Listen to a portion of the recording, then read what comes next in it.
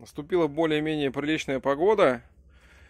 И вот смотрите, как у нас сейчас мастерской более-менее наладилось, скажем так, порядок небольшой мы навели. Завезли байдарочки, завезли огромное количество колес. Все это вот в ремонте. Это все надо делать. То есть последнее видео прошло пару дней, и велосипедов у нас немножечко прибавилось. У нас немножечко прибавилось велосипедов. В день приносят практически по 5-10 по штук. Все это надо чинить. Вот у нас столик тут тоже модный, самодельный. В принципе, удобный. Вот такие лоточки для обуви.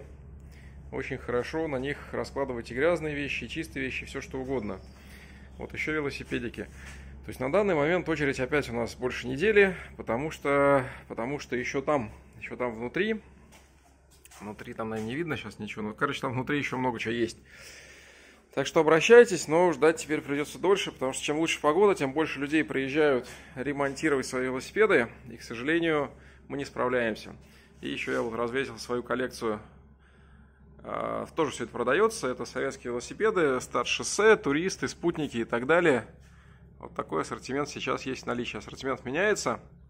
Что-то привозится новое, что-то мы покупаем, что-то нам дарят, что-то мы разбираем, что-то из чермета восстанавливаем, что-то с помойки приносят. В общем, есть разные-разные-разные рамы, и кривые по 100 рублей, и ровные подороже, скажем так, которые можно восстановить, и велосипед будет у нас, как вот я показывал, раньше в роликах. Очень интересный какой-нибудь на промподшипниках. Современный классический туринг, так сказать. И вот все, что сейчас вот, вот это вот у нас уже готово. Вот это у нас еще не готово. А вот это у нас все в ожидании, в ожидании, в ожидании. Потому что даже ставить некуда. И там еще наверху долгоиграющие проекты лежат. Так что, ребята, чем лучше погода, тем больше очередь.